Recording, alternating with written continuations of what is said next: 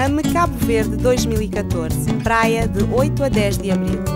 Ministério da Cultura, criamos juntos.